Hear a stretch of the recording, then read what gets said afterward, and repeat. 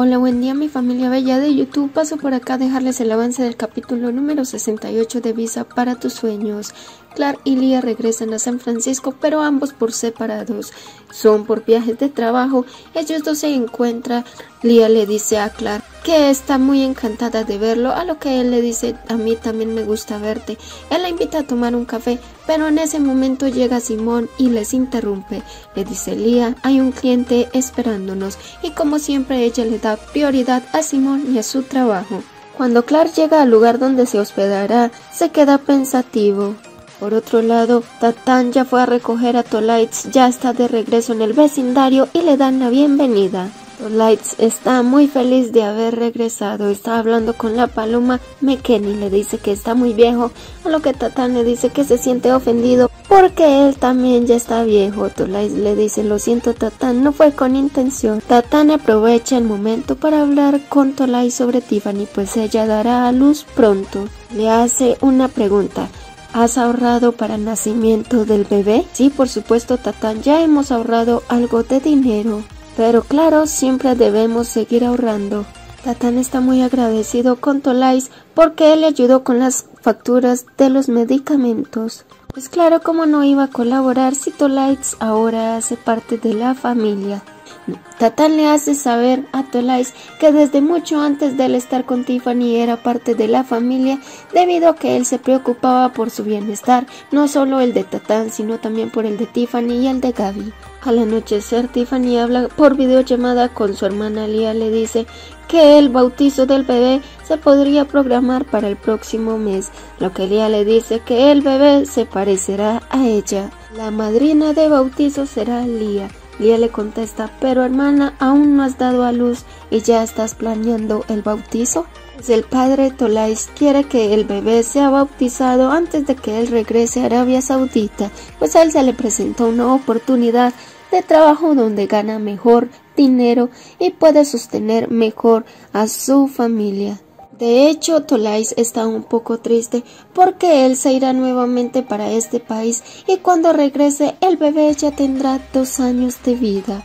Ya le dice hermana, es que vivir lejos de la familia es realmente difícil. Tiffany le dice, es verdad hermana, Lia le contesta, te admiro a ti y a Tolais han soportado una relación a larga distancia y tú sabes hermana que eso no es fácil. Ya ves que la distancia dio por vencida la relación de Clark y yo. Clark intenta cuadrar una cita con ella para tomar un café, pero Simón les dice que primero tendrán que ir a hacer una diligencia, a lo que Clark dice entonces será la próxima vez. Después de lo que pasó, Lia queda asombrada y llama a su hermana para contarle que Clark está allí en San Francisco, a lo que Tiffany le dice que eso es mentira, que son alucinaciones de ella, que qué estaría haciendo Clark en San Francisco. Lia le contesta que está allí por cosas del trabajo, que eso fue lo que Clark le contó. Plática está un poco extensa. Tiffany también le dice, oh Dios mío, Lia, ver a Clark te afectará mucho, yo te conozco. Espero que estés tranquila y no afecte tu trabajo. Lia, y te pregunto, ¿por qué pareces tan asustada contándome sobre esto? ¿Qué crees que pasará después de haberlo visto nuevamente? Lia confundida le dice, no lo sé, no tengo ni la mayor idea de lo que sucederá. Clark está acostado en su cama tomándose dos cervezas pensando en el momento en que Lia y él terminaron. En otro momento, Lia está en una junta de su trabajo y también está recordando el momento en que se encontró con Clark allí en un lugar en San Francisco. Este pequeño instante la desconcentró, a lo que Simón se dio cuenta y se queda mirándola. Se eleva tanto que Simón la trata de llamar varias veces y ella no le contesta. Le dice Lia, Lia, ¿te encuentras bien? Pero ella no acata, sigue pensando en ello.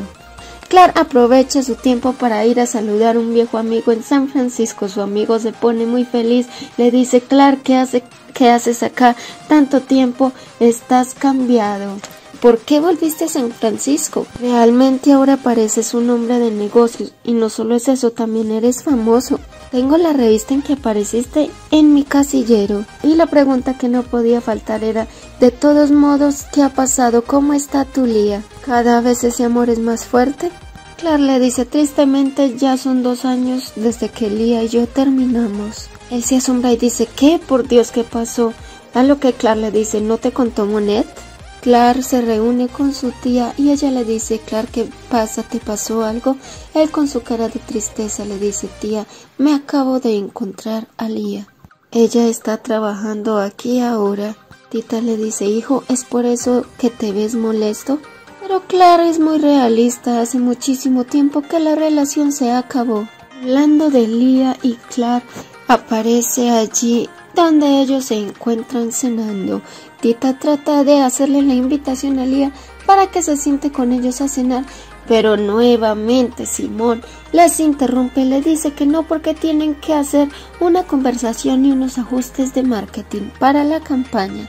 Lía no se da cuenta que Simón la está manipulando y cada vez la está alejando más de Clara. Es bueno que Lia sintió celos cuando vio que Ángela se sentó junto a Clark. Jix habla con su enamorada Ángela, ella le dice que lo extraña, que porque él no va allí a San Francisco, pero él le dice que así quisiera no puede, porque quién cuidará la cafetería.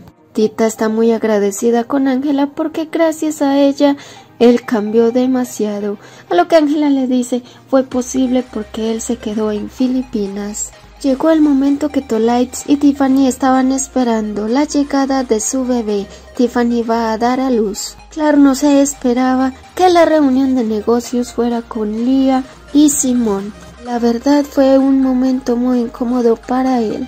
Ese bebé de Tiffany está realmente hermoso, es pequeñito, divino, con una delicadeza angelical. En otro momento Clark le hace el reclamo a su tía del por qué no le había dicho que Lía era la cliente. Que Tita le dice, Clark, es que yo no lo sabía. Tita, tú sabías que Lía trabajaba para la agencia Armad. ¿Cuál es la diferencia? Eso de Armad en San Francisco. Admítelo, quería que fuéramos socios bien. Ella le dice, ok, ok, sí lo sabía, pero han ganado premios y hacen un gran trabajo, ¿verdad? Pero aparte de eso, ¿quién sabe, Clark? Ese podría ser el camino para ti y Lía, para arreglar las cosas entre ustedes dos y volver a estar juntos, claro, porque yo sé que ustedes dos aún se aman, pues el destino realmente está jugando con ellos dos. Lía le dice a su hermana, ¿sabes algo, Tiffany? Ángela y Clark están juntos, sí, la hija del dueño. Ella es la actual socia comercial, ¿sabes? Estaba en lo cierto, sabía que Ángela siempre le había gustado a Clark. Clark sintió lo mismo pero siguió negándola. Y por supuesto Clark sigue pensando que Lía está con Simón. Tita regaña a Clark y le dice no seas bobo, no estamos seguros de ello. Tita es obvio, siempre está con ella, a lo que Tita lo regaña aún más duro y le dice Dios mío, Clark que no, entiéndelo. En lo que a mí me respecta, ustedes dos deberían estar juntos y punto. Son tan obvios los celos de Lía que no puede ocultarlo hasta su hermana los nota. Según Lía le dice a su hermana que a ella ya no le interesa, claro que es feliz ahora sin él, que solo queda algo por hacer y es el divorcio. Tiffany le dice, Lía, ¿estás loca el divorcio? Tita también está de acuerdo de que Lía debería seguir siendo su esposa. Al anochecer, Clark va al cuarto que compartía con Lía allí en San Francisco y empieza a recordar los momentos maravillosos y románticos que vivió con ella. También está allí el televisor que él compró por primera vez que para ver televisión. La verdad es injusto que Clark siga sufriendo tanto por Lía y la siga recordando mientras ella diga que está feliz sin él. En el evento de ambas empresas, Clark se acerca a Lía y le dice que cumplió todos sus sueños y que él está feliz por ella. Ella le dice a Clark que mientras esperan la campaña, que si pueden hablar un segundo. Él le dice, ¿hablar de qué?